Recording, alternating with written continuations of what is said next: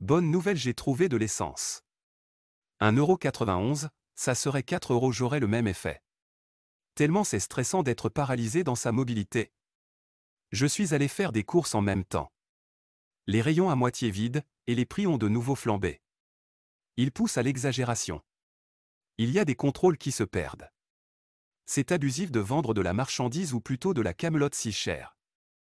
À cause d'une crise bancaire. Tu ne m'as pas ramené des oranges d'Espagne, j'espère. Car moi, c'est poubelle directe. Moi, des fruits piqués par leur cochonnerie, j'en veux pas. En effet, ça sent mauvais. Quand tu épluches une orange, tu as un fond d'odeur, et je ne te parle pas du goût, c'est de la flotte. Dégueulasse quoi Moi j'ai vu en rayon un pamplemousse d'Espagne.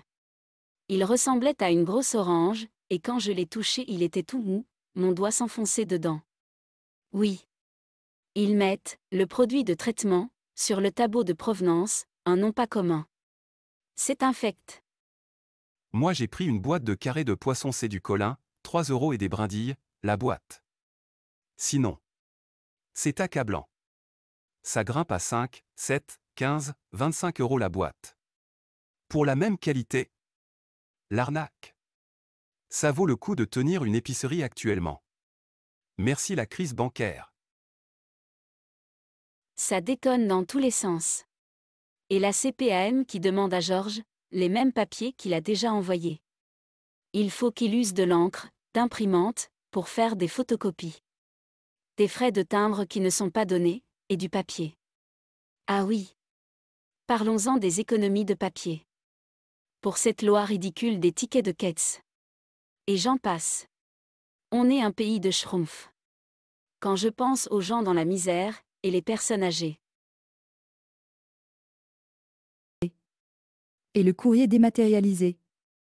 Comment font-ils sans ordinateur?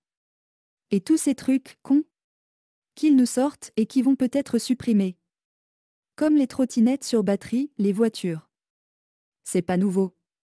Déjà ça fait quelques années que les voitures pour la ville étaient électriques et maintenant commercialisées d'une manière agressive pour te forcer à te débarrasser de ta voiture thermique.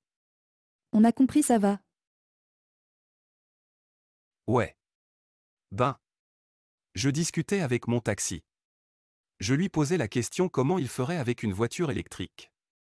C'est impossible. Sans compter les routiers, et tout ce qui fait la longue distance. C'est débile. Il parle d'un autre système par hydrogène. Alors ça va encore changer bientôt. Allez les couillons. Jetez-vous sur les caisses électriques. Pas sûr que ça continue. Quelle galère ce pays.